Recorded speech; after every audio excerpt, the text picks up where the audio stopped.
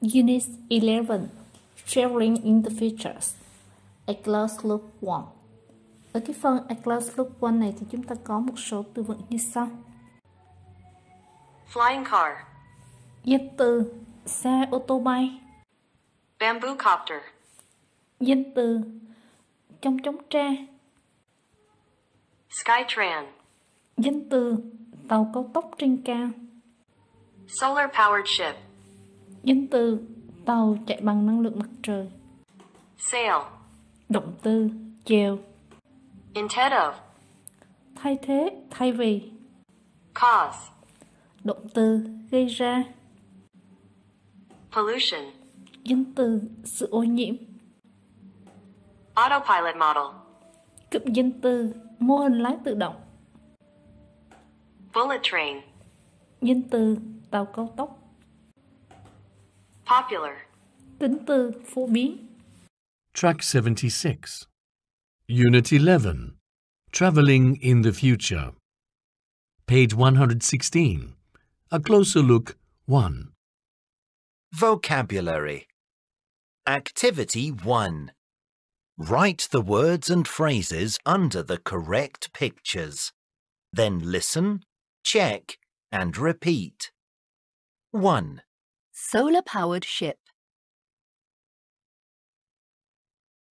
2, Flying car. 3, Bamboo copter. 4, Hyperloop. 5, Skytran. Activity 2 Write words and phrases from one in the correct columns. Hãy viết những từ và những cụm từ từ bài tập số 1 và những cái cột đúng? Ở đây người ta cho mình ba cột đối với ba động từ. Từ thứ nhất là ride là đi, cưỡi hoặc là lái. Fly là bay, sail là chèo. Thì bây giờ chúng ta làm sẽ sử dụng những cái từ hoặc cụm từ bài số 1 để điền vào những cái động từ này. Đầu tiên chúng ta đi vào từ ride thì cưỡi hoặc là lái hoặc là đi đi cái gì?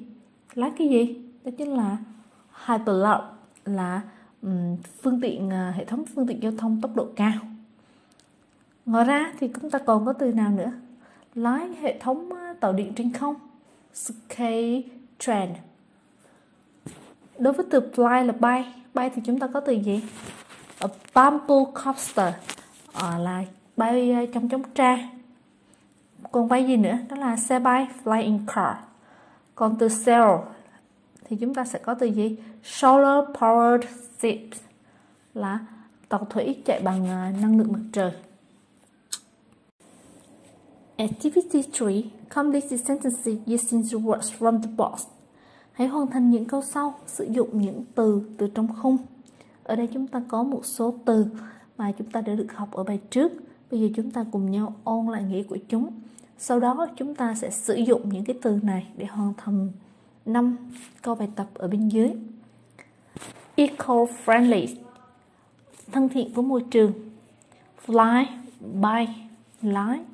Ride, đã cưỡi, lái, đi Pamplecopter um, chống chống tre Hyperloop hệ thống giao thông tốc độ cao Number one Traveling by is simple. You just put it on and fly away. Đi bằng cái gì đó, đi lại bằng cái gì đó rất là đơn giản. Bạn chỉ cần mang nó vào và bay đi. Thì mang vào và bay đi thì đó chính là trong chống tre Chúng ta sẽ sử dụng từ bumblecopter.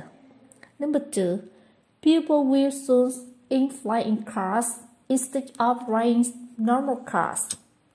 Mọi người sẽ sớm mà cái gì đó trên những chiếc xe bay, ô tô bay thay vì lái những chiếc ô tô bình thường. Mọi người sẽ sớm đi trên những chiếc ô tô bay. Chúng ta sẽ sử dụng từ gì? Fly. Number three. It will be fun to escape train to work.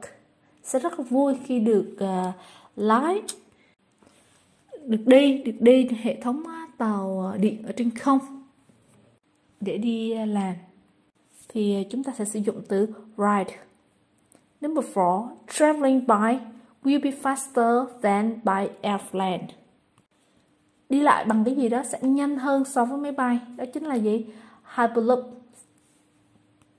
Đi lại bằng hệ thống giao thông tốc độ cao sẽ nhanh hơn bằng máy bay. Number 5. Solar power seats are the greenhouse coal pollution.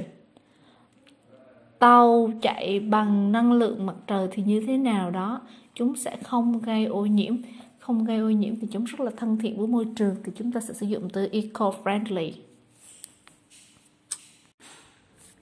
Phát âm, âm nhấn của câu thì ờ, trong câu thường những cái từ được nhấn và những từ không được nhấn chúng ta thường những từ mà chúng ta thường được nhấn đó là gì danh từ động từ chính tính từ trạng từ và trợ từ phủ định và những cái từ thường không được nhấn đó là gì giới từ, đại từ, mẫu từ và trợ từ bây giờ chúng ta sẽ vận dụng những cái âm nhấn của câu vào để hoàn thành những cái bài tập ở bên dưới Track 77. Unit 11. Traveling in the Future. Page 116. A closer look 1. Pronunciation. Sentence stress. Activity 4. Listen to the sentences and repeat.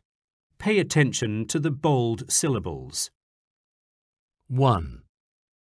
We'll have driverless cars. 2. We'll have driverless cars in the future. 3. I think driverless cars will run faster. 4. I don't think we'll have driverless cars. 5. I think driverless cars will be safer and greener. Track 78. Unit 11. Traveling in the Future. Page 117. A closer look. 1. Pronunciation. Sentence stress. Activity 5. Listen to the sentences and repeat. How many stresses are there in each sentence? 1. That is a solar powered ship. 2. They will travel by flying car. 3. They introduced a new autopilot model. 4. Will bullet trains pollute the environment?